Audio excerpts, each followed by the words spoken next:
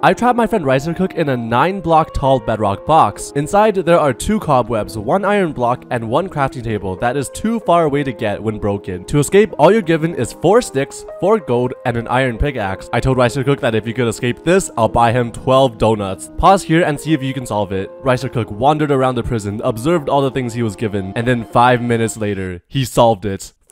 Here's what you had to do. First mine the block of iron with your iron pickaxe, craft it into 9 iron ingots, and then turn 2 of the iron ingots into iron nuggets. And then with your remaining ingots and nuggets, craft 7 chains. But the prison is 9 blocks tall, so 7 chains wouldn't be enough to stack up. This means we need another block. Oh but Dan, the crafting table is too far away. That doesn't mean you can't get it. Use your golden sticks to craft a sword, break 2 cobwebs to get 2 string, and then make a fishing rod with your remaining sticks. You might not know that fishing rods can hook items towards you, which means you can rod the crafting table towards you. Now that you have 8 stackable blocks, you can now build up and escape.